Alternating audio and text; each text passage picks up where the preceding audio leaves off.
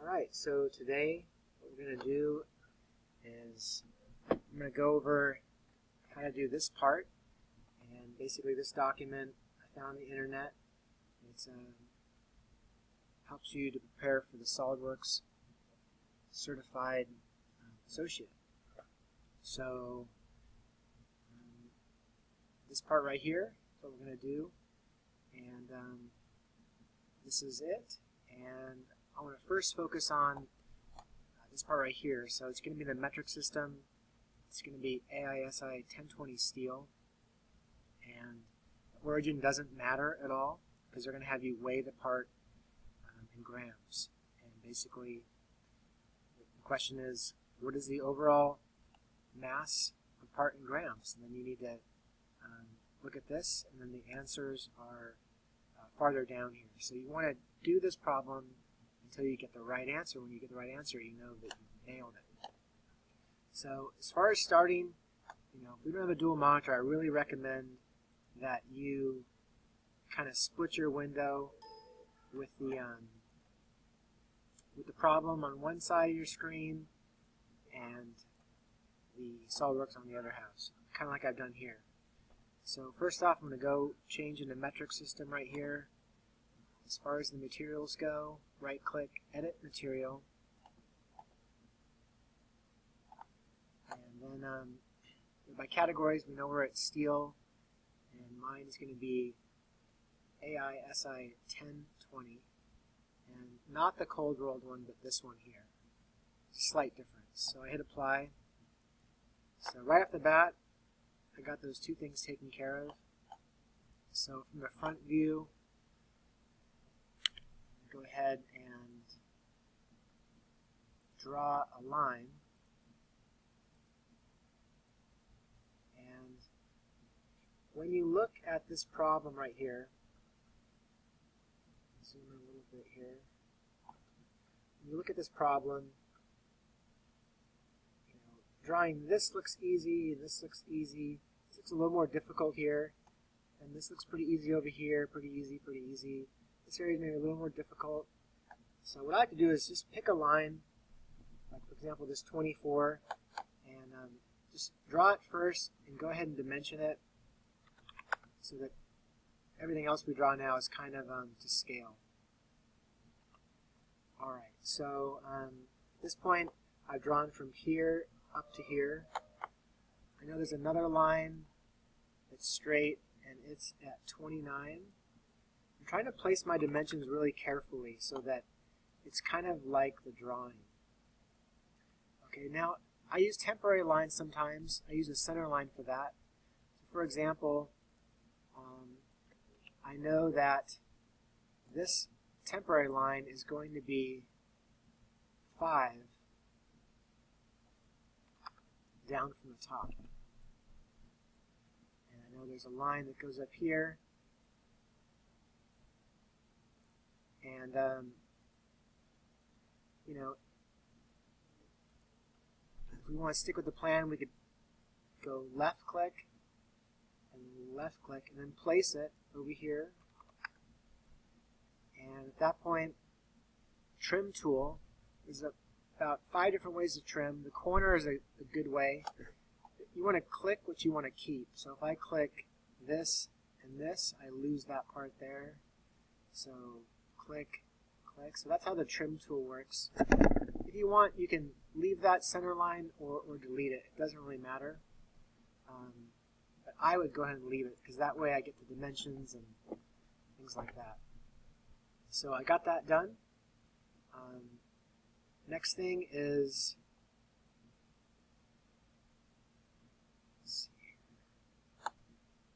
we know that there's going to be a dimension that goes from here to this point right there is going to be 24.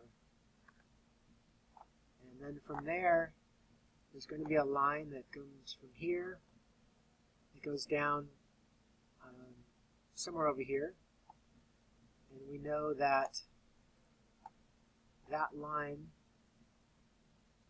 this line, and then this line right here is going to be B and B is 57.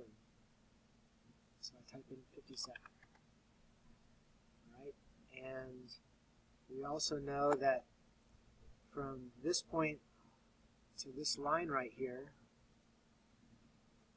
is going to be 29. So here to there, going to be 29.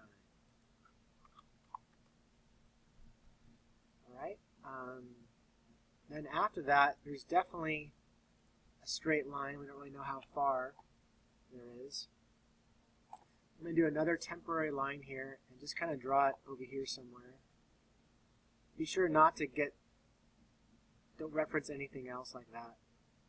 Um, but we know that this line right here and this line is going to be 19. And again, I'm trying to place the dimensions as they are over here. That way at the end when I go to scan everything, I can make sure I got it right. So here's the three-point arc command. There's a couple different choices here. Um, first mouse click, second mouse click, third mouse click. So you should practice these and make sure you're, um, you're familiar. But I'll click this one right here. And I'll go ahead and click this intersection right here. And then what I'm going to do is I'm just going to put my mouse kind of up here. And notice right now it's not drawing the line I want, but if I loop my mouse around, I kind of get what I need.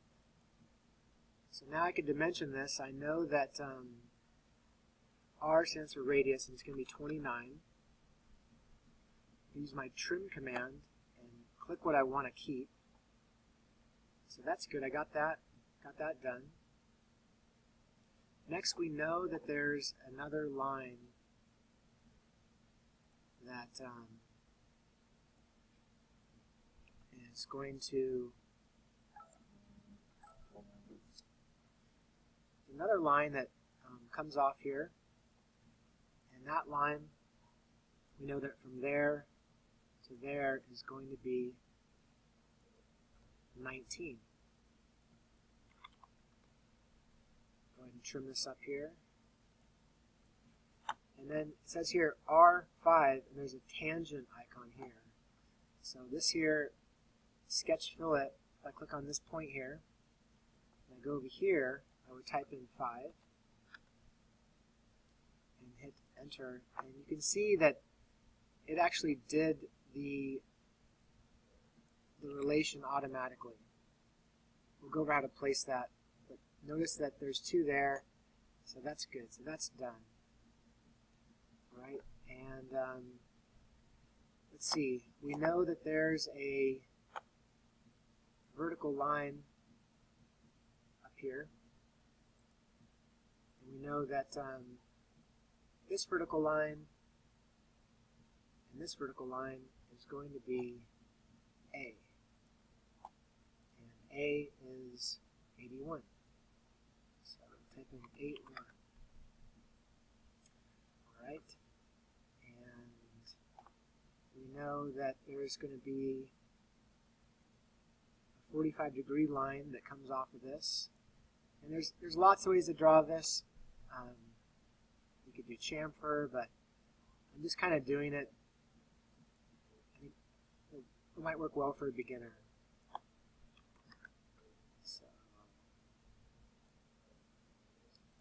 There's definitely faster ways to do this.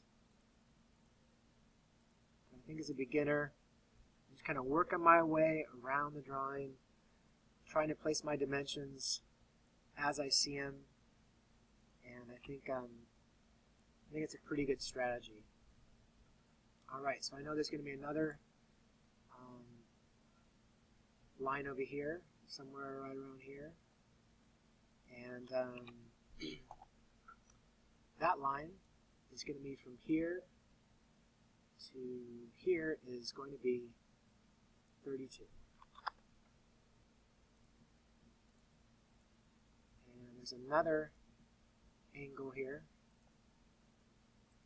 that's 45 degrees.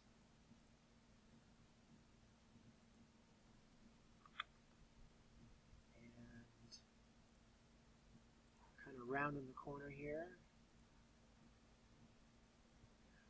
Oh, there's one dimension here too. We know that um, this point this point should be 7. So we've got to really make sure that every dimension that we see, we have here. like right here and here, I need a 7 there too.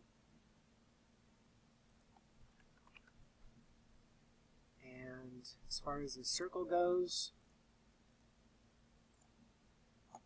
the diameter is going to be 14 and it's going to be 14 from there. It's going to be 14 over to the left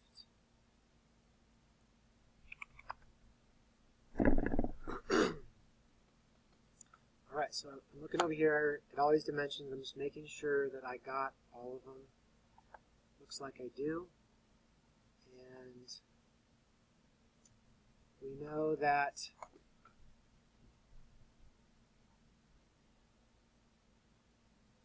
from this line right here to this point is going to be 14. And then we have a line that kind of shoots down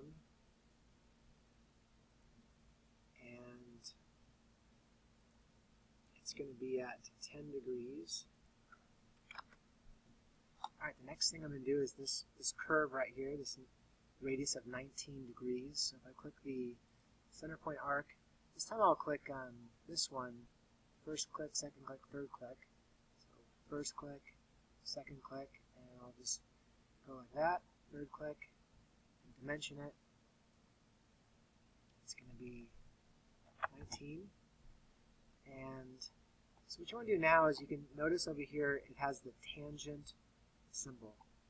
And the way you add a relation is you hold down the shift key, hold down shift, left click, left click. You can add relations now. If I click tangent, it you know really made it look correct and, and solved that problem. So again, that tangent icon there is critical. You have to hold the shift key, not the control key to get that to work. So you want to double check all of your dimensions and then after that if I go over here we're going to go ahead and um, we're going to extrude it next. Right. Notice over here for C right there that's how far we're going to extrude it and C is 43 so if I go over here to features extrude, type in 43, enter. Alright, so there it is. Looks good. Now I go to evaluate and click mass properties, I'm going to go ahead and find out it weighs 939.54 in grams. And there it is, 939.54 grams.